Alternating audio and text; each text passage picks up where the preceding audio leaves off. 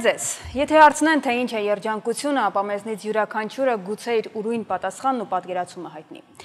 Բայց թերևս մի բանաձևի հետ շատերը համաձայն են։ Երջանկությունը հասկացված լինելն է։ Ով ու ինչպես կարող է գտնել այդ հասկացված լինելու եւ ներդաշնակության ճանապարհը։ Շատերի օրինակները կարող են հիացմունք պատճառել։ Մի բան հաստատ է, յուրաքանչյուր դեպք յուրովի է, անկրկնելի, ինչպես մարդիկ։ Բայց պայմաններն ու մեխանիզմները, որոնք կարող են առավել մեծացնել միմյանց հասկանալու, առավել գիտակից եւ իրազեկված լինելու չափը, նաեւ մեզնից յուրաքանչյուրից է կախված։ Զրույցներ կանանց իրավունքների մասին հաղորդման այս թողարկման ընթացքում մենք դարձյալ կքննարկենք այն գործիքակազմը, որը նախատեսվում է ընտանեկան բռնությունը կանխարգելող եւ մարդու պաշտպանությունը երաշխավորող իրավական ակտերում։ Իդեպ ընդամենը մի քանի օր առաջ Հայաստանը միացավ ընտանեկան բռնության դեմ պայքարի Եվրախորհրդի կոնվենցիային իսկ ընտանիքում բռնության կանխարգելման, ընտանիքում բռնության ենթարկված անձանց պաշտպանության եւ ընտանիքում համերաշխության վերականգնման մասին օրինագիծը կիրառության մեջ մտնելու համար անհրաժեշտ է միայն նախագահի ստորագրությունը։ Եվ այդ հարցերը մենք կքննարկենք իմ զրուցակիցների հետ Արմենուհի Թանաշյան, Հայաստանի Հանրապետության աշխատանքի եւ սոցիալական հարցերի նախարարության, աշխատակազմի, ընտանիքի, կանանց եւ երեխաների հիմնահարցերի վարչության, կանանց հիմնահարցերի բաժնի պետ եւ Աստղիկ Մինասյան, նույն նախարարության սոցիալական աջակցության վարչության պետ։ Շնորհակալություն հրավերը ընդունելու համար եւ անցնենք առաջին հարցին։ Պաստորեն այս օրինագծի օրենքի դառնալուց հետո շատ մեծ դերակատարություն վերապահված է այս նախարարությանը։ Նկատի ունենալով, որ լիազոր մարմին պետք է ստեղծվի եւ նրան է վերապահված ամենակարևոր գործառույթը։ Ինչի մասին է խոսքը։ Ես եւս շնորհակալություն եմ հայտնում հրավերի համար եւ նախ մինչ բուն գործառույթների մասին խոսելը, ասեմ, որ աշխատանքի եւ սոցիալական հարցերի նախարարությունը սկսած դեռևս 1998 թվականից զբաղվում է ընտանեկան բռնության հիմնախնդիրներով եւ այս տարիների ընթացքում բավականին մեծ աշխատանք է իրականացվել այս կապակցությամբ քաղաքականության մշակման, իրազեկման աշխատանքների հետ տարբեր քարոզարշավ կազմակերպելու եղել է 2008 թվականին օրինագիծ, որը չընդունվեց կառավարության կողմից բարեփոխումների հետ կապված բայց սա երկար սպասված համենայն դեպս օրինակից էր եւ այս օրինակցով մեր նախարարությունը համարվում է լիազոր մարմին։ Ինչ է նշանակում լիազոր մարմին? Հենց օրենքով սահմանվում են լիազոր մարմնի պարտավորությունները եւ առաջին պարտավորությունը լիազոր մարմնի կողմից դա ոլորտի քաղաքականության մշակումն է ինչը ես արդեն նշեցի այս տարիների ընթացքում իրականացվել է եւ շարունակելու ենք դա իրականացնել քաղաքականության մշակումը իրենից ենթադրում է եւ օրենսդրական նախաձեռնություններ, եւ դրա կիրարկումն ապահովող համապատասխան դաշտի ստեղծում եւ կարծրատիպերի վերացման ուղղված իրազեկման աշխատանքներ եւ ոլորտի աշխատողների վերապատրաստումներ եւ մեթոդաբանության մշակում, այսինքն անդրադառնում է այն բոլոր խնդիրներին, որոնցով հնարավոր կլինի արդեն կյանքի կոչել բուն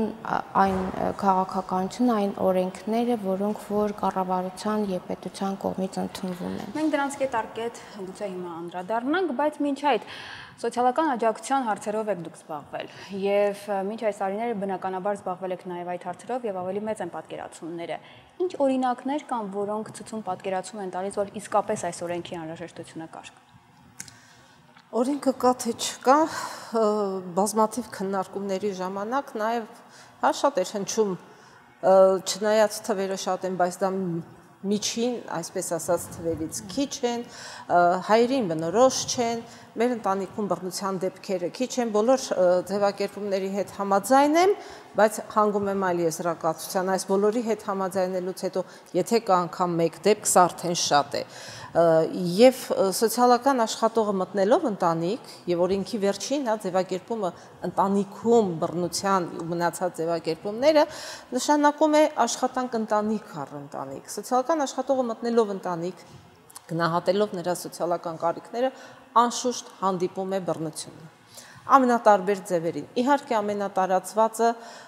կանանց նկատմամբ բռնությունն է, որովհետև թե ֆիզիկապես թույլ են եւ իրավական տեսանկյունից եւ մնացած հարցերից, բայց թույլ միայն կանայք չեն։ բռնության ենթարկվում են նաև երեխաները եւ գրեթե հաճախակի կանանց հետ համահավասար, երբեմն բռնության ենթարկվում են նաև ընտանիքում հաշմանդամություն ունեցող անձինք եւ տարեցները։ Այս տեսանկյունից գրեթե բոլոր տեսակների հետ էլ սոցիալական աշխատողը հանդիպում է։ Եվ ինչպես նաև նշեց Արմինեն, արդեն իսկ ոլորտում որքանով էլ սոցիալական, հա, աշխատանքի սոցիալական հարցերի նախարարությունը լինի լիազոր մարմին, ինքը խնդիրը միջոլորտային է։ Այո Իսկ միջոլորտային խնդիրների լուծումը ցավոք սրտի ամենաբարդն է։ Եվ այս պարագայում, եթե չկա համագործակցություն բոլոր կողմերի միջև, դա եւ ոստիկանությունն է, եւ խնամակալության հոգաբարձության մարմին, այսինքն ինքը համայնքը, համայնք ձևակերպումը, եթե մենք նայում ենք իրավական տեսանկյունից կարծես թե աշխատակազմ, աշխատող, մասնագետ, բայց համայնքը նաև մեր բնակչությունն է։ Ինչին նաև պիտի մենք կոչ անենք չթաքցնել, չկոծկել նաև նմանատիպ դեպքերը, որովհետև մենք էլ ենք, հա, այս երկրի բնակիչը, մենք էլ ենք տեսնում մեր հարևանների մեջ երբեմն նմանատիպ երևույթներ, աչք չփակել, չասել ընտանիքի խնդիրն է, փորձել նաև օգնել այդ ընտանիքին, թե բռնարար բռնարարին, թե բռնության ենթարկվողին։ Դեպքերը կան, հանդիպում են, ընդ որում ես վերջին մեկ դեպքը կուզենայի պատմել հետեւյալ հա տեսանկյունից երիտասարդ ընտանիք կին իր երեք երեխաների հետ բռնության էր ենթարկվում ամուսնու կողմից հարևաններն ասել են գիտես տղան լավն է որ չխմի ինքը այլևս հա բավականին լավ երիտասարդ է իր ընտանիքին մասին մտածող եւ սոցիալական աշխատողը որոշել էր ծնողների հետ խոսել, որ հասկանար ինչպես կարողանան տղային հետ պահել ուրեմն զարմացած հայացքով սոցիալական աշխատողը պատմում է, ասում գնացի ծնողների տուն։ Դուրը բացեց սկիսուրը, երիտասարդի մայրը աչքի տակ կապտած։ Սա արդեն հա խոսում է թեկուզ եւ քիչ դեպքերի, բայց ծանր դեպքերի մասին նաև, երբ որ տանը տեսել են, տանիքում տեսել է, սովորել է, դա դառնում է սովորական կենցաղ եւ փորձում է նա շարունակել, հա, եթե իր ընտանիքում դա ընդունված է եղել, ի՞նչն է խանգարում այլևս իր նեղ փոքր ընտանիքում չկիրառել։ Եվ այս պարագայում տեսնում ենք, որ խնդիրները շատ են։ Այստեղ բոլորն անելիք ունեն, եւ հարևանները, եւ բարեկամները, եւ ոստիկանությունը, եւ սոցիալական աշխատողը, եւ հոգեբանները հատկապես այս դեպքերում եւ համատեղ աշխատանքով կարծում ենք իհարկե ավելի մեծ արդյունքի կհասնենք, քան յուրաքանչյուրը մտածելով ինչպես ինքը կվարվեր։ Երբ որ արդեն օրենք է, երբ որ արդեն սա ոչ միայն նաեւ դառնում է պարտականություն եւ ինչպես ասեց քաղաքականություն, սա եւ ցուցանիշներ են, սա եւ մեթոդաբանությունն է եւ սա նաեւ պրոֆեսիոնալ աշխատանքն է, որովհետեւ երբեմն լավություն անելու ցանկությամբ մենք նաև ավելի ենք վնասում, հա, ինչպես ասում են դժողքի ճամփան բարի ցանկությունների սալահատակ է։ Երբեմն այստեղ պրոֆեսիոնալիզմ է պետք եւ կարծում ենք օրենքի ընդունումով նաեւ այո սա կմշակվի եւ մենք մեր սոցիալական աշխատողներին կպատրաստենք նման դեպքերի հետ հմուտ աշխատանք կազմակերպելուն։ Հիմա սա այն դեպքերից է, որ շատ նուրբ միջավայր է եւ միայն պրոֆեսիոնալ լավ օրենք ունենալը ամենևին ամբողջը չէ։ Ինչպես անել Դե չէ ստացվում է որ բոլորը բոլորի կյանքով սկսում են ապրել։ Ինչպես անել որ այդ նուրբ սահմանը պահպանել եւ ընտանիքին օգնել եւ ոչ թե ընդհակառակը, որովհետեւ հնարավոր է որ մեկ անգամ միջամտելուց հետո դա ուղղակի եթե մի թեթև դեպքեր դառնա ավելի խոր դեպք։ Ինչ անել։ Գիտեք ինչ, մինչ օրենքի ընդունումը եւ իհարկե օրենքի ընդունումից հետո ուղղակի པարս հարցեր են ինձ ուղվել, ինչ է տալիս այս օրենքը ձեր կարծիքով ես միշտ առաջին հերթին պատասխանում եմ հետեւյալ կերպ։ Միայն օրենքի ընդունումը սա կարծրատիպերի արդեն վերացման առաջին քայլն է, որովհետեւ ինչպես Աստղը նշեց, սա նորմից, հա սոցիալական նորմից, որ դա թույլ է, այսինքն թույլատրելի սահմանից անցնում է կարգավորման պետական նորմի, որը չի կարելի։ Այսինքն ինքը այլևս չի դառնում թույլատրելի արարք եւ ինքը հասկանում է բռնարարը, որ այո գոյություն ունի հատուկ օրենք, որի համար ինքը կդատապարտվի եւ որի համար պատասխանատու կլինի պետությունը եւ կմիջամտի եւ աջակցելուն եւ պատասխանատվության ենթարկելուն եւ կանխարգելելուն եւ պաշտպանական միջոցներ ձեռնարկելուն այսինքն ինքնին միայն զուտ այսպես եթե որևէ գործողություն այլևս չիրականացվի համենայն դեպս կիմանան որ դրա համար դատապարտվելու է ինքը սոցիալական նորմը վերանում է դառնալ արդեն սոցիալական նորմ, իրավական նորմա դառնում։ Ուզենայի ավելացնել, որ այստեղ դատապարտվել բառը լայն իմաստով, հա, բառարանային իմաստով դատապարտվելն է, որովհետև այսինքն ես ենթադրում եմ, որ հիմա մեր մեզ լսողը պիտի մտածի, եթե դատապարտվել է, սա արդեն հա, դա դատաստան եւ մնացած բոլոր քրեակատարողական հիմնարկ, քննիչ եւ այլն ոչ դատապարտելի երևույթ է դա։ Այս դատապարտելիությունը պիտի այսինքն հատեսնենք եւ ընտանիքի կողմից եւ բարեկամների եւ հարևանների ինչպես անել ու ինչ անել հարցի պատասխանը երբ որ սոցիալական աշխատողը հանդիպում էր այդ բռնությանը հա մնում էր ինքը մենակ այդ ընտանիքի հետ ինչ անել արդյոք կարող է դիմել ոստիկանին արդյոք կարող է դիմել հարևանին արդյոք կարող է քա որ ա մենք ազգային մանավանդ որ նաև այս հարցերն է դրվում ընտանեկան օրենսգրքի հետ միշտ ասում են խավորի ինստիտուտը պիտի ուժեղացնել ով էր խավորը ընտանիքի համար հարգված մի մարդ, որը կարողանում էր իր խոսքը տեղ հասնել։ Հիմա այդ խոսքը պաշտոնապես, պետականորեն, պրոֆեսիոնալ մասնագետի կողմից պիտի տեղ հասցնել։ Եվ այս բարագայում արդեն այլևս սոցիալական աշխատողը գիտի ինչպես վարվել ավելի շուտ կիմանա ինչպես վարվել։ Եվ երբ որ մենք ասում ենք աշխատանք ընտանիքում, սա ընտանիք առ ընտանիք աշխատանքն է, ընտանիքի փոքրիկ սոցիալական կապերով իր բարեկամների, իր ազգականների, եթե կան այդտեղ կարող ուժեր նրանց ներգրավմամբ, ինչպես նաև արդեն արտաքին ցանցով եւ անձնական տվյալների պաշտպանության մասին օրենքը միանշանակ այստեղ պիտի գործի սոցիալական աջակցության եւ այս ոլորտը կարգավորող բոլոր օրենքներում գաղտնիությունը, խորթապահությունը դրված է։ Իհարկե անձնական կյանքը իլուր ամբողջ աշխարհի պատմելու իրավունք ոչ ոք չունի, դա լինի սոցիալական աշխատող, դա լինի լրագրող, դա լինի հարևան թեող, որովհետև այո, մենք յուրաքանչյուրս պաշտպանված ենք, որ մեր անձնական խնդիրներն ու մեր կյանքի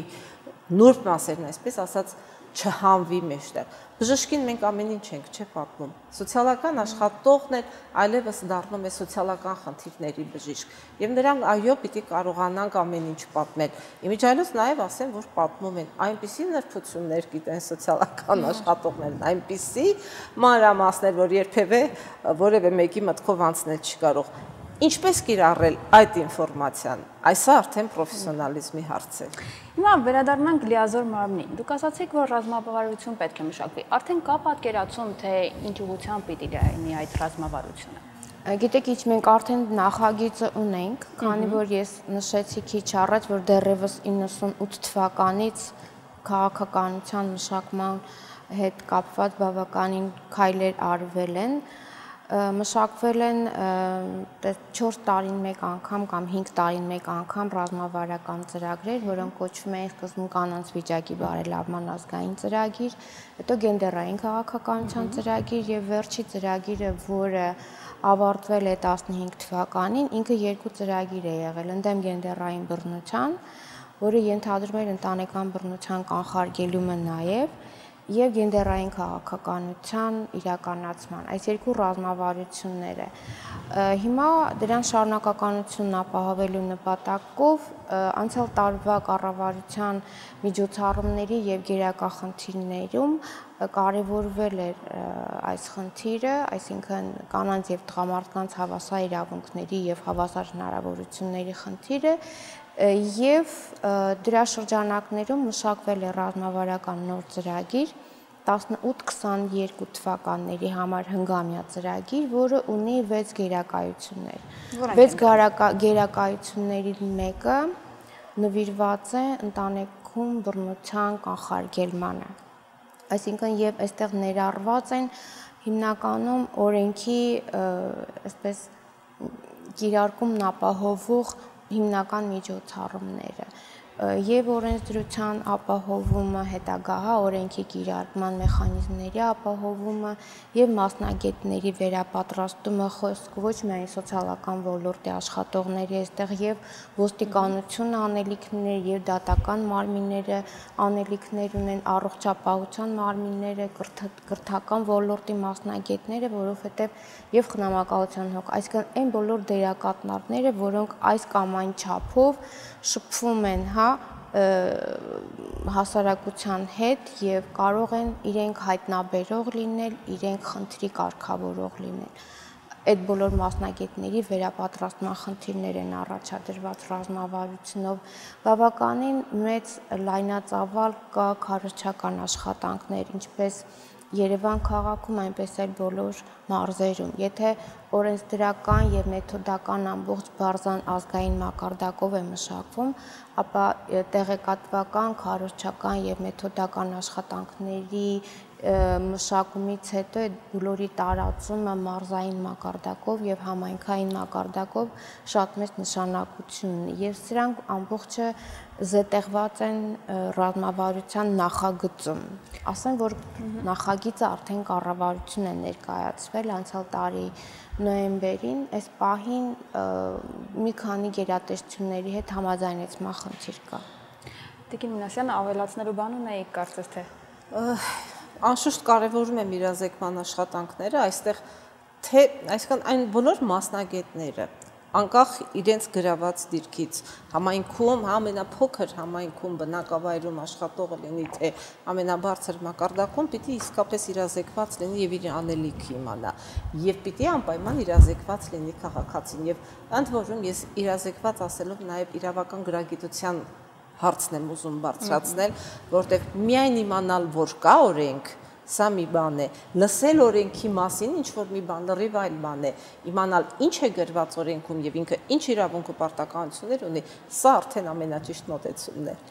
Մինչև օրենքը իմանալը, արդյոք սա սոցիալական նորմ չպետք է դառնա ունակ դպրոցներում ուսուցանվելով այս կարգի բաները։ Ընտանեկան հարաբերությունների, նույն սոց սոցիալական աշխատողի գործառույթների մասին նույնիսկ անշուշտ սոցիալական աշխատանքի մաս սոցիալական աշխատանքը որպես մասնագիտություն շատ դժվար է ընկալվում ոլորտից հեռու մարդու մասին, որովհետև մի մասնագիտություն, որի մեջ աշխատանք բառը կա, դժվար է հասկանալ։ Իսկ ինքը սոցիալական աշխատանքը մասնագիտական գործունեություն է։ Եվ մենք ասացինք նաև որ հոգեբանները, հա, շատ անելիքներ ունեն։ Հայեր են հազվագյուտ ազգերից են, որ ասում են մի բան հասկանում այլ բան, լսում են մի բան հասկանում այլ բան ուղիղ բացատրել դպրոցում սովորեցնել, հա, այսինքն բռնության դեմ պայքարը, բռնության կանխարգելումը, բռնարար չլինելը, բռնություն գործադրելը ամոթ լինելը, հա, այս բոլոր հարցադրումները պիտի ենթատեքստով մտեն։ Սա իմ անձնական կարծիքն է։ Սա պիտի լինի թե մաթեմատիկայի խնդիրների մեջ գուցե եւ սա պիտի պատմական հեքիաթներով մեր ազգային, այո, այս ամեն ինչով պիտի տրվի առանձին դասընթաց, բռնություն, առողջ կենսակերպ եւ այլն, սա կարծում եմ իրատեսական էլ չի լինի, որովհետև որ խնդրի մասին խոսում ենք, ասում ենք դպրոցում այդ մասին պիտի սովորեցնեն։ Հա դպրոցում քանի առարկա պիտի ավելացնեն։ Այս տեսանկյունից սկն բոլոր առարկաներում դա ենթատեքստով պիտի գնա եւ սա իհարկե եւ բացի դրանից անձնական օրինակը լավագույն օրինակն է։ Ընտանիքը պիտի նաև հա այնց Մակարենկոյի հանրահայտ գործնի ասում ուշացել եք դրա ծնողներին պիտի դաստիարակել։ Իհարկե այս դաստիարակությունը նաև նման հաղորդումներով հանրությանը լայն իրազեկման միջոցով պիտի տեղ փորձենք տեղ հասցնել ամեն ինչ։ Սովորաբար հոգեբանները, սոցիալական աշխատողները եւ մյուս մասնագետները գործ ունենում են դեպքեր, երբ արդեն դա տեղի է ունեցել։ Իսկ Հայաստանում հատկապես այն դեպքերում, երբ արդեն բանը բանից անցել է նույնիսկ ինչպես անել, որ դրանք ավելի շուտ կարողանան աշխատանքում ներգրավել եւ կանխարգելել դեպքերը։ Գուցե այստեղ ես մի քիչ ավելի առաջ ընկնեմ, հա, որովհետեւ այն տարածքային մարմինները, որոնք ուղղակիորեն բնակչության հետ են աշխատում, սոցիալական աջակցության տարածքային մարմինները, նրանք մտնում են ընտանիք սոցիալական կարիքների գնահատման համար հա խնդիր ռեսուրս են համեմատում եւ կարողանում են տեսնել։ Եվ այստեղ տեսնում են ակնհայտորեն թե ենթադրյալ բռնությունը, թե դրա բացարձակ տեսանելի դեպքերը, թե թե պատահականությունը։ Այսքան հայտնաբերման մեկ մեխանիզմ կա, եւ քանի որ երբեք խնդիրը մենակ չի լինում,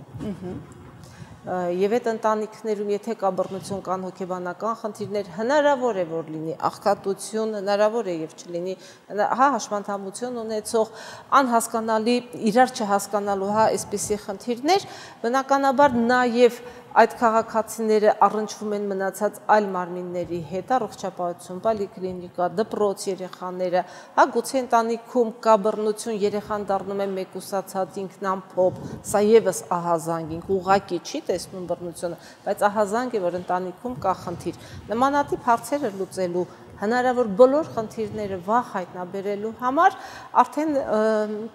երկրորդ տարին է գործում է այսպես ասենք, հա, միջկերատեսչական սոցիալական համագործակցության կանոնակարգ, ինչը նշանակում է, որ յուրաքանչյուր պետական պաշտոնյա կամ հասարակական կազմակերպության ներկայացուցիչ, երբ որ հստակ կասկած տեսա, որ ընտանիքում կա սոցիալական խնդիր, նա պարտավոր է երրորդյա ժամկետում հայտնել սոցիալական աշխատողին։ Մենք բոլորս էլ գիտենք, միշտ ես այդ օրինակը բերում եմ, ամենատիպիկ օրինակն է։ Եթե որևէ տրավմայով մտնում ենք բժշկի մոտ, պարտադիր պայման նրանք ոստիկանությանը հայտնում են։ Սա այդ պարտադիր նորմն է, եւ որքան վաղ իմանանք այդ մասին, այնքան հեշտ կկարողանանք դրա դեմն առնել։ Մեխանիզմը կա, թղթի վրա, այսպես ասենք, սկսել է որոշ մասով գործել, Չեմ ասի, թե ամբողջությամբ այն գործում է, որովհետև սա մտածելակերպ է ու բավականին տարածված, նաև նշեց, որ բոլոր կողմերի վերապատրաստում է անհրաժեշտ ոչ միայն բռնության մասով, նաև սոցիալական մնացած խնդիրներով, եւ մենք աստիճանաբար քայլ-քայլ գնում ենք առաջ, հուսանք, որ մի քիչ ավելի այս օրենքի կիրառումը կբերի նաև այս մեխանիզմի գործարկմանը։ Ես մի փոքր նեղացնեմ խնդիրը, դեռևս 2000 2005 թվականին, երբ ընդունվեց սոցիալական աջակցության մասին օրենքը, առաջին անգամ այնտեղ անդրադարձանք ընտանեկան բռնության երևույթին որպես կյանքի դժվարին իրավիճակ։ Եվ արդեն 15 15 թվականին նոր օրենքում ավելի լայն, այսպես ձևակերպումներ տրվեցին եւ արդեն որոշակի գործառույթներ դրվեցին կոնկրետ սոցիալական աշխատողների վրա եւ այս պահին մենք ունենք արդեն մշակված մեթոդաբանություն, ինչպես ցուցիչների համակարգ, ասեմ, որ նրանք գուցե եզակի են ոչ միայն մեր տարածաշրջանում, արև այլև արևելյան Եվրոպայի երկրների հետ համեմատությամբ որևէ տեղ դեռևս այդպես համապարփակ ցուցիչների համակարգ մշակված չի։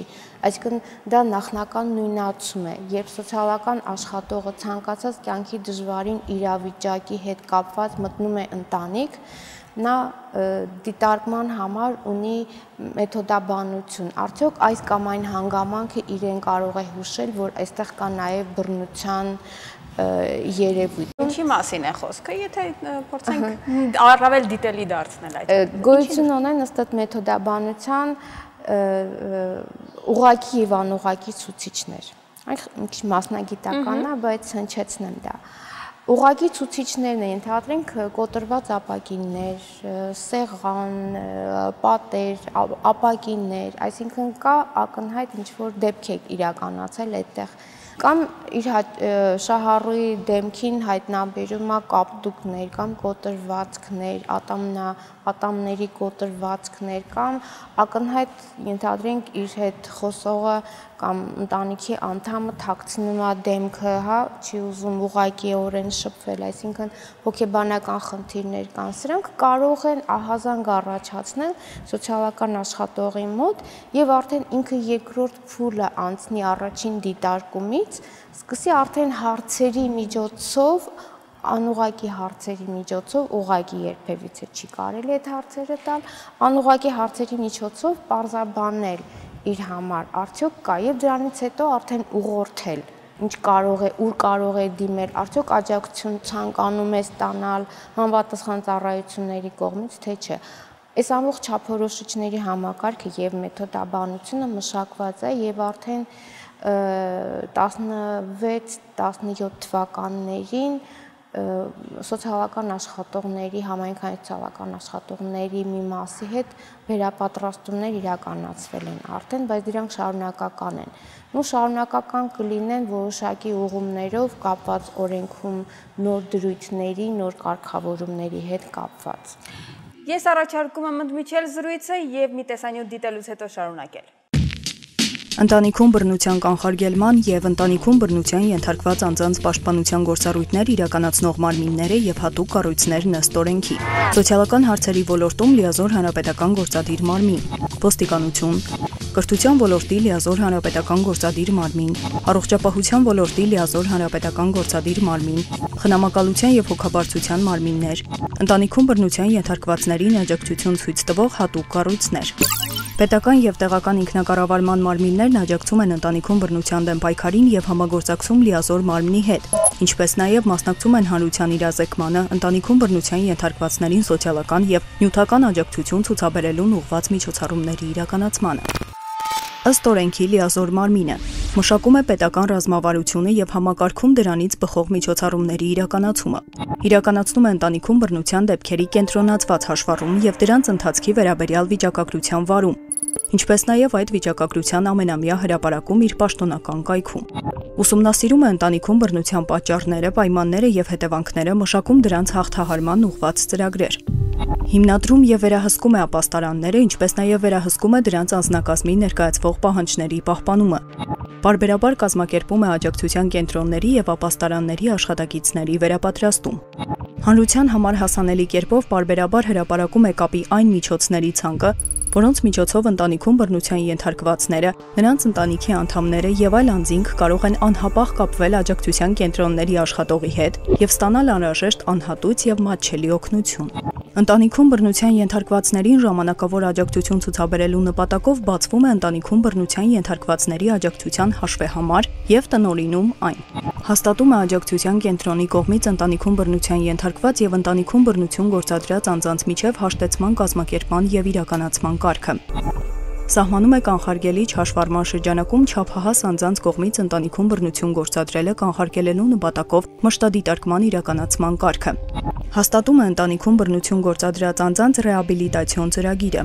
Լիազոր մարմնի ղեկավարին կից գործելու է նաև ընտանիքում բռնության կանխարգելման խորհուրդ, որը նրանց առաջարկություն է ներկայացնելու ընտանիքում բռնության կանխարգելման բնագավառում պետական ռազմավարության, դրանից բխող ծրագրերի, օրենսդրական բարեփոխումների, հանրության իրազեկման միջոցառումների եւ այլ հարցերի վերաբերյալ։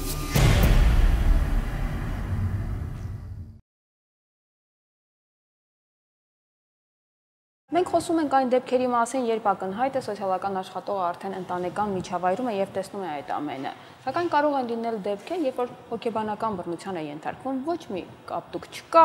ոչ մի ջարդված ապակի չկա եւ այլն եւ որևէ մեկը չի հայտնում այդ մասին, բայց այդ խնդիրը կա եւ դա կարող է տարածվել շատերի վրա։ Ինչ անել այս դեպքերում։ Ճիշտն ասած, այդ չափորոշիչների մասին, որ նույնացման չափորոշիչների մասին ասեցի, նրանք բաժանվում են տարատեսակների ֆիզիկական բռնության հետ կապված չափորոշիչներ, այսինքն որոնք են դրանք, որ կարելի է հայտնաբերել, հոգեբանական, սեռական, անտեսման հետ կապված։ Այս բոլոր չափորոշիչները առանձին, այսպես իրենց բնութագրերով ներկայացված են նույն ընկճախտի երևույթը ինչպիսի դրսևորումներ է ունենում, ինչպես է ընտանիքի անդամը իրեն դրսևորում, ընտանիքի անդամը կամ մյուս անդամները գուցե եւ սոցիալական աշխատողը զրույց է ունենում գուցե բռնարարի հետ, թե ինչպես են պահում մնացած ընտանիքի անդամները։ Այսինքն, երբ որ ընտանիք մտնում է սոցիալական աշխատողը ինքը արդեն ունենում է որոշակի գործիքներ իր համար, որպես ինքը հետո եզրակացություն տա, թե արդյոք այդպես Ես պարզապես այո, այո։ Դեպքի հետ այսպես ասենք, ես որպես սոցիալական աջակցության վարչություն մի քիչ այսպես ասենք, հա հեռանում եմ բռնությունից, որովհետև տնային այցելություն, կոնկրետ դեպքի հետ աշխատանքի ընթացքում ամեն ինչ է հնարավոր տեսնել։ Կարող են խնդիրները լինել շատ բարդ, թաքցրած, թեկուզ եւ ոչ բռնության հետ կապված, որովհետեւ այստեղ եւ ամոթն է, ամաչելն է, ինչու պիտի ես այսպես լինեի, ընկճախտը եւ այլն եւ այլն, հա նմանատիպ խնդիրներ կարող են շատ լինել, այս դեպքում սոցիալական աշխատողը հաճախակի է լինում ամսվա մեջ 5, 6, գուցե եւ 7 անգամ երբեմն խմբով այցելություններ։ Այս ընթացքում սկսում են այո տեսնել իսկապես ինչ խնդիրներ կան այն ցուցիչները, որոնց մասին խոսեց իմ գործընկերուհին, հնարավոր է առաջին օրը տեսնեն ու մնացած օրերը արդեն բացառվի, որտեղ դա հապատահականություն էր, դա ընդհանուր վարկագիծ էր, դա այդ պահին տրամադրությունը տեղը չէր, կարող էր դա նաև խորանալ եւ իսկապես հիմնավորվել դիտարկման մեթոդը, որը ուղղակիորեն հա քաղաքացու հետ աշխատելիս նայում ես աչքերի մեջ եւ հայացքն ես տեսնում, աչքերը կախելն ես, հայացքը փախցնելը, սրանք ամեն ինչի մասին խոսում են, սա կարող է լինել բնավորություն, սա կարող է լինել խոսելու ոչ, սա կարող է լինել նաեւ ստիպված ապարտադրված իրավիճակ։ Երբեմն լինում են դեպքեր, երբ քաղաքացին ընտանիքի անդամներից որևէ մեկը այլ պատճառով կամ հացանկություն է հայտնում դրսում հանդիպել սոցիալական աշխատանքի այդ մեթոդաբանությունը նախատեսում է բոլոր տարբերակները. Հանդիպում գրասենյակում, հանդիպում ընտանիքում, հանդիպում հա, դրսում։ Եվ այս աշխատանքի միջոցով սրանք են նուրբ միջոցներն են, որ կարողանում են հա կողմնորոշվել եւ բնականաբար նման դեպքերի ժամանակ հատկապես բարդ դեպքերում երբեք մենակ որոշում չի կայացվում ակնհայտ դեպքերի ժամանակ այո որոշումը միանշանակ կայացվում է երբ որ կա կասկածելի դեպք, երբ որ ինքդ միանշանակ որոշում կայացնել չես կարողանում, իհարկե այստեղ պիտի աշխատի բազմամասնագիտական թիմը, իսկ այդտեղ կարող են լինել բժիշկներ, հոգեբաններ, սոցիալական աշխատողներ եւ իրավաբաններ, որոնք իսկապես կկարողանան համատեղ լավագույն որոշումը կայացնել։ Այդտեղ ապաստարանների ստեղծման խնդիր է դրված նաև սոցիալապահովության նախարարության վրա։ Որ դեպքերին է դա վերաբերում եւ ովքեր կարող են տեղափոխվել ապաստարաններ։ Միայն կանայք, միայն բռնության ենթարկվածը, թե նաև այլ մարդիկ։ Ապաստարանների գաղափարը ընդհանրապես ամբողջ աշխարհում ասոցացվում է ընտանեկան բռնության երևույթի հետ, որպես աջակցության տեսակ։ Այդ ապաստարանները կարելի ասել են վերջին միջոցն են աջակցության, որ կարելի է առաջարկել բռնության ենթարկված անձին։ Եվ ապաստարանները, ինչպես դուք հարցադրեցիք, միայն նախատեսված են բռնության ենթարկված անձանց եւ կամ նրանց երեխաներին կամ եթե ընտանիքում կա անչափահաս կամ Հաշմանդամ օրինակ։ Հաշմանդամ կարող է որ նրանք էլ, այսինքն եթե խնամքի տակ ունեն անձինք, նրանք էլ կարող են ապաստարանում գտնել համապատասխան աջակցություն։ Ապաստարանների հիմնումը ըստ էության, այո, օրենքով դրված է լիազոր մարմնի վրա, բայց դա չի նշանակում, որ ամբողջ հանրապետությունով մեկ ստեղծվելու են ապաստարաններ։ Ապաստարան կարող է լինել հանրապետությունում 1, մաքսիմում 2, որովհետև դրա պահանջարկը ըստ էության այդքան շատ մեծ չի։ Այսօր ապաստարաններ գործում են 1-2, որոնք հասարակական կազմակերպությունների ջանքերով եւ միջոցներով են աջակցություն տրամադրում եւ վերցնելով վերջի տարիների վիճակագրությունը դրանք այդպեսի մեծ թվեր չեն կազմում եւ ասացի որ դրանք վերջին աջակցության այսպես միջոցն են դրանից հետո չի կարելի խոսել ընտանիքի վերականգնման, ընտանիքում հաշտության եւ այլնի մասին, այսինքն այստեղ բաժանվելու գործընթացա գնում եւ ապաստարանները դա պաշտպանության միջոց է, անվտանգության միջոց է, որպեսի բռնարարը չիմանա որտեղ է գտնվում ընտանեկան բռնության ենթարկված անձ, այսինքն որին բռնություն է ենթարկել, իր զոհը, չէ, ուզում եմ զոհ բառը հնչեցնել շատ ավելի արդյունավետ միջոց է աջակցության կենտրոնների գաղափարը, ինչի ստեղծումը արդեն մեր նախարարությունը ձեռնարկել է դեռևս 15 թվականից սկսած մեր գերատեսչության համակարգում գործող մի շարք այլ պետական ոչ առևտրային կազմակերպություններ, որոնք ծառայություններ էին մատուցում մասնավորապես երեխաների խնամքի հարցերով, այս տարիների ընթացքում նրանք վերակազմակերպման գործընթացում են եւ ավելի այսպես լայն շրջանակ է նախատեսում ծառայությունների, այդ թվում նաեւ ընտանիքում բռնության ենթարկված անձանց։ Հիմա հապաստարանները կարծես թե հասկացանք ինչի մասին, եթե ուղակի ֆիզիկական անվտանգության վտանգ կար։ Աջակցության կենտրոնները ինչ գործառույթ են իրականացնել։ Աջակցության կենտրոնները դրանք մասնագիտացված ծառայություններ են մատուցում, խորհրդատվություն, հոգեբան հոգեբանական աջակցություն, իրավաբանական աջակցություն, նախնական առողջական ծառայ առողջան խնդիրների հետ կապված ծառայություններ կամ ուղղորդում ավելի մասնագիտացված առողջապահական հաստատություններ սոցիալական աշխատանք են իրականացնում, այսինքն կարող են զբաղվել ընտանեկան բռնության ենթարկված անձի մասնագիտական կարողությունների, նրան սոցիալական ինտեգրման հարցերով, աշխատանքի տեղավորման, վերավորակավորման, կարող է կրթական հարցերով զբաղվել կամ եթե երեխայի հետ է կապված խնդիրը երեխայի դպրոցի կրթական, այսինքն ուսումնառությունից եթե հետ է մնացել այդ խնդիրներով զբաղվի, գուցե իրավաբանական խորհրդատվության կարիք կա կամ եթե արդեն գործը հասել է ամուսնալուծությանը, ապա փաստաբանական ծառայություններ կարող են տրամադրել։ Սա ամենևին չի նշանակում, որ օրինակ բռնության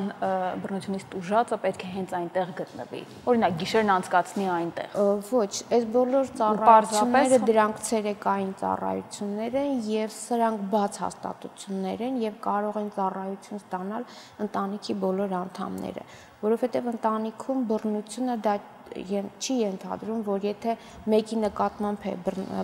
բռնությունը կիրառվել, ապա ընտանիքի մնացած անդամները աջակցության կարիք չունեն։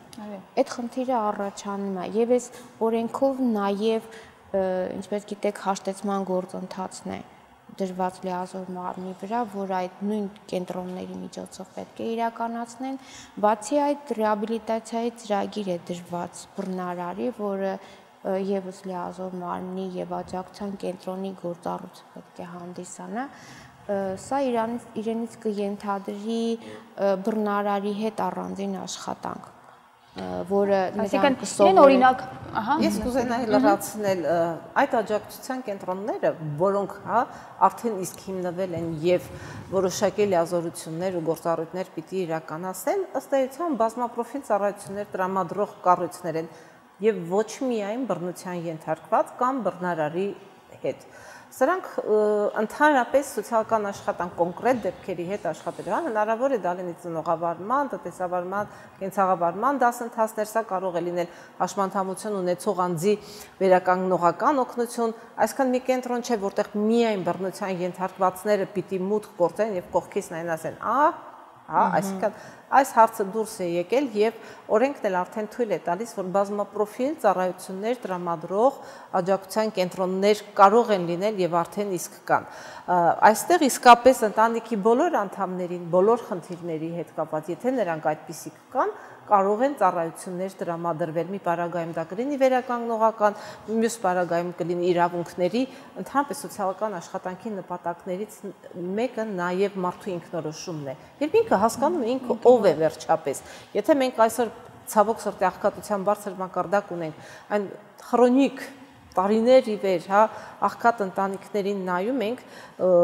շփվում ենք իրենց հետ, իրենք չեն հավատում, որ իրենք կարող են հասնել արդյունքի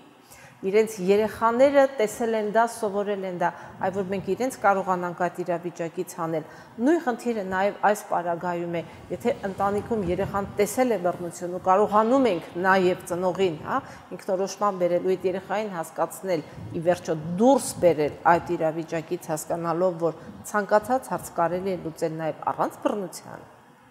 Ուրեմն մենք կարող ենք հասնել արդյունքի։ Արդյոք բռնության դեպքերի մեծ մասը հենց աղքատ ընտանիքներում են։ Ոչ։ որովհետև դուք հիմնականում նշեցիք աղքատ ընտանիքները, բայց հիմնականում ես աշխատում եմ։ Որոնք են այդ պատճառները, չէ՞ որ դրանք տարբեր կարող են։ Պատճառների մասին երևի գործընկերուհիս ավելի մանրամասն կասի, բայց մենք խոսել ես սկզբում անդրադարձա նաև բռնության դեպքեր կան, բայց դրանք շատ չեն Երբ որ մենք համեմատում ենք բռնության դեպքերը եւ աղքատության մակարդակը մեր հում, սրանք անհամեմատելի են։ Դրա համար էլ հայ իմ խոսքը անընդհատ գնում է դեպի աղքատություն, որովհետեւ հիմնականում մեր աշխատանքը մեր վարչության, հա, սպասարկած ոլորտում այդ ուղությամբ է իրականացվում բայց բռնության համար աղքատությունը հիմնական պատճառը չէ, ես առավել քան վստահ եմ կավելացնել։ Որոնք են այդ պատճառները։ Պատճառները բազմաթիվ են բայց հիմնական այսպես բռնության սկզբունքը դա իշխանությունն է մեկը մեկին իշխելու հանգամանքը եւ դրա համար էլ հիմնականին չեն ասում որ ընտանիքում բռնության ենթարկվում են կանայք եւ երեխաները, որովհետեւ տղամարդկանց կողմից իշխելու ցանկությունը, երբ որ այլ արգումենտներ չեն մնում իշխելու, զուտ բռնի ուժն է դառնում իշխանության հասնելու գրավական բայց դա բացարձակ չի նշանակում որ աղքատությունը դրա հիմնական պատճառներից մեկն է ոչ բացարձակ ոչ շատ աղքատ ընտանիքներ կան որ շատ համերաշխ են ապրում եւ այդ իրենց ունեցվածով շատ ավելի համեստ եւ կենցաղավարման ավելի հնարամիտ միջոցներ են կիրառում իշխանուց իշխանական այդ հակումները ցանկացած ընտանիքում կարող են լինել եւ կրթական բարձր ցենզով, հա, ընտանիքներում եւ տարբեր կրոնական պատկանելիության ինքը չի նայում ոչ տարիք, ոչ կրթություն, ոչ կրթվածության մակարդակ դա անձնային հատկանիշների հետ ավելի շատ կապ հատկանիշներով է հիմնականում։ Դուք սկզբում ասացիք, որն է երջանկությունը եւ հա ասացիք գրեթե անվիճելի է հասկացված լինելը։ Եվ եթե հասկացված չէ, եթե ընտանիքում հա կինը սեփականություն է դիտարկվում, հա գեղեցիկ լինի հակած կապած հետ կողքից տանեն, որ կամ ինչքան ենք լսում, հա, մայրը մեկ է ցանկացածին կբերենք, այսինքն այս խոսակցությունները օթից չեն գալիս։ Սա իրողություն է, սա հանդիպող երևույթ է, սա հոգեբանական նաև հա բռնությունն է եւ այս դեպքերում իսկապես բռնությունը կարող է հասնել նաև այն բռի, կոպիտ, ֆիզիկական բռնության, չասենք այլևս հա սեռական։ Այսինքն նայած ինչպիսին է տեսնում իր կողակցին, հա, կինը լինի, տղամարդը լինի, ինչպիսին է տեսնում երեխային, ինչպիսին է տեսնում ընտանիքում հաշմանդամություն ունեցող անձին, բեռ է դիտարկում, թե ընտանիքի լիռավ անդամ է դիտարկում, ինչպիսին է տեսնում տարեցին, բեռ է, թե ընտանիքի անդամ է, նրա ամբողջ կյանքն է իր աչքի առաջ, թե տվյալ պահի խնդիրները։ Սրանք արդեն այնպիսի հա հարցադրումներ են, որը աղքատության հետ ընդհանրապես որևէ կապ չունեն։ Գուցե մի քիչ նպաստի, եթե կա խորքում նմանատիպ, հա, մտածելակերպ, բայց բոլոր դեպքերում ցավոք սրտի նաև ամենաապահովված ընտանիքներում էլ ամենադաժան բռնության դեպքերը հնարավոր է տեսնել։ Մենք հաճախ պարադոքսալ դեպքերի ենք հանդիպում։ Հարսը բռնության է ենթարկվում, այսպես հոգեբանական բռնության սկեսուրի կողմից։ Այսինքն հարսը այս դեպքում էլի կին է, բայց ինքը իրավունք չունի, իսկ սկեսուրն իրավունք ունի։ Այս դեպքում երկուսն էլ կին են, մեկը իրավունքներ ունեցող, մեկը Ինչու՞, որովհետև նույն տան մեջ ինչ իշխանության հարց է, շերեփնում ձեռքին է։ Սա այն ասացվածքները երբեք հա ինչ որ միտեղից չեն ծնվում, հա, շերեփնում ձեռքին է, խոհանոցում ով է, որոշում կայացնող նով է, ֆինանսական բյուջեն ում մոտ է, պետության պես Ինչ են ասում ընտանիքը պետության հա փոքրիկ բջիջն է։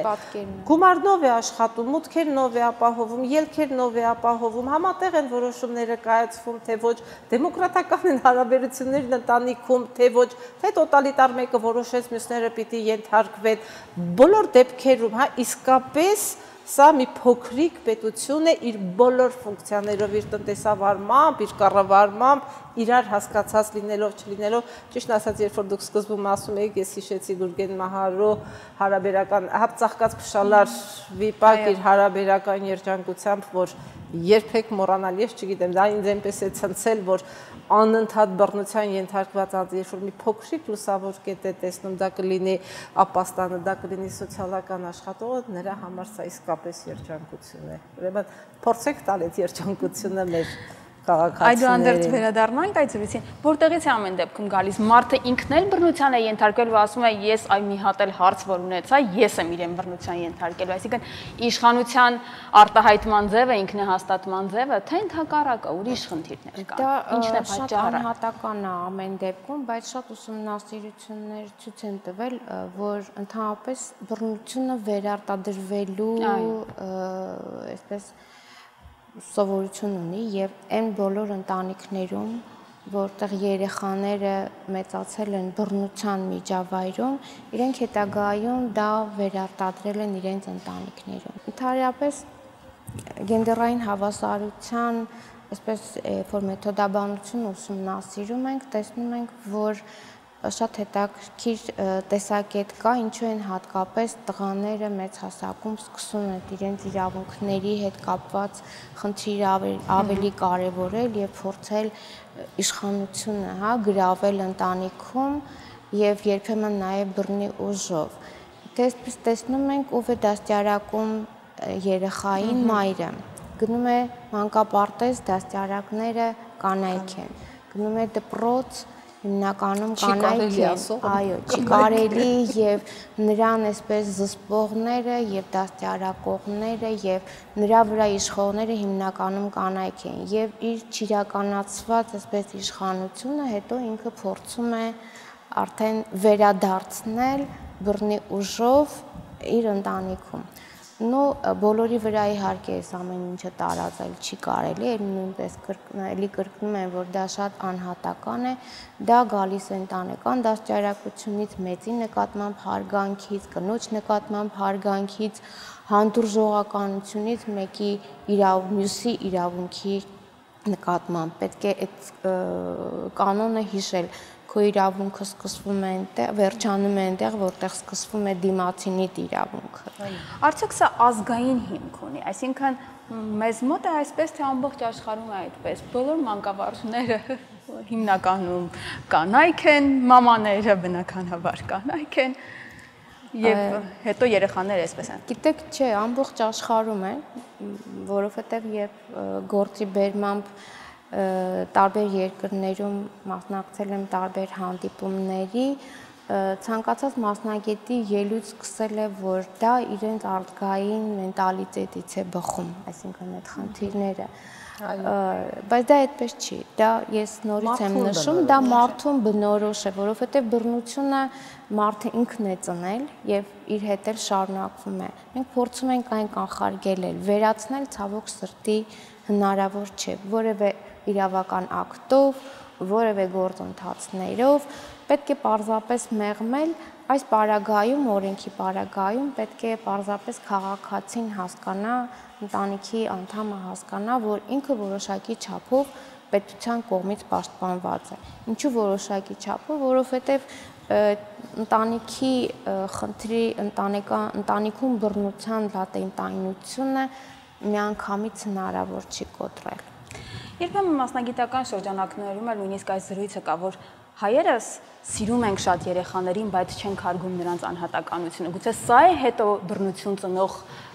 հիմքերից մեկը արմատների։ Սեփականություն ենք դիտարկում երեխաներին, այո, եւ հա պատկերացնում ենք ինչեւ օրծերություն երեխան երեխա է, փորձում է սովորեցնել, սովորեցնել իհարկե Սա չեմ կարող ասել ազգային մտածելակերպ է թե ոչ, բայց գուցե եւ այստեղ շատ մեծ նշանակություն ունի։ Սա եւ պատմականորեն եկած է, հա անընդհատ պաշտպանելու խնդիրը կա։ Այո, մենք դժվարանում ենք երեխայի մեջ մարդուն տեսնել։ Ընդհանրապես ցավոք սրտի, հա, մենք դժվարանում ենք մարդու մեջ մարդուն տեսնել։ Սոցիալական աշխատանքի կարևորագույն սկզբունքը հենց առաջին արժեք գալիս է մարդը բարձրագույն արժեք է։ Լավ է, որ սահմանադրության մեջ գրվեց երրորդ հոդվածում, լավ է, որ կառավարության ծրագրում կա, հուսամ, որ մենք բոլորս կկարողանանք նաև այդպես մտածել, որովհետև իսկապես մարդ բարձրագույն արժեք է։ Մի բարվիր դիմացինիդ հետ այնպես, ինչպես չես ցանկանում, որ քեզ հետ վարվեն։ Սա այն լավագույն հա մեսիջն է, որ անընդհատ պիտի տրվի։ Հանդուրժողականության պակասն է ընդհանրապես բոլոր հարցերում մենք ցավոք սրտի հիմա հա քննադատող ենք բոլոր հարցերում մենք պարտադիր յուրաքանչյուրն առանձին լուծումն ունի, բայց կարծես թե չի տեսնում այդ լուծումը, այդ հանդուրժողականության պակասը բերում է բռնության, բերում է այդ բռնությունը լինի ընտանիքում, դրսում, շրջապատում, ցավոք սրտի կան նաև այդ երևույթները, մենակ ընտանեկան բռնությունը չէ, որ այսօր մեզ անհանգստացնում է։ Հիմա մենք ունենք ընտանիքում բռնության կանխարգելման խորհուրդ եւ լիազոր մարմին։ Արդյոք այս երկու մարմինների գործառույթները չեն կրկնվելու։ Իհարկե չեն կարող, որովհետև ինչպես դուք նկատում եք, օրենքում գրված է, որ լիազոր մարմնին կից է ստեղծվում լիազոր մարմնի գործառույթները այլ են խորհրդի գործառույթները, որը դեռ չի ստեղծվել, այլ պետք է լինեն։ Խորհուրդը խորհրդատվական մարմին է եւ որոշումներ չի կայացնում եւ խորհուրդը ստեղծվելու է օգնելու լիազոր մարմնին իրականացնելու քաղաքականության մշակման հետ կապված խնդիրները, ենթադրենք տարբեր ֆինանսական խնդիրներ, որոնք օրենքով նախատեսվում են նաև հաշվեհամարի, հա, ստեղծում, որը հնարավորություն կտա աջակցել բռնության ենթարկված ընտանիքներին, նրանց անդամներին անհատական այս խնդիրների հետ կապված, ապաստարանների հետ կապված, նրանց վերահսկողական գործառույթների հետ կապված, Այսինքն այն բոլոր խնդիրները, որոնք քաղաքականության կոնկրետ մշակման հետ կառնչվեն, նրանք կարող են աջակցել եւ խորհրդատվական իմաստով։ Շնորհակալություն այս հետաքրքիր զրույցի համար։ Մենք ավարտում ենք այսօրվա հաղորդումը Երջանի գեղեք։ Մենք կհանդիպենք հաջորդ օրը շաբթի ժամը 17-ին։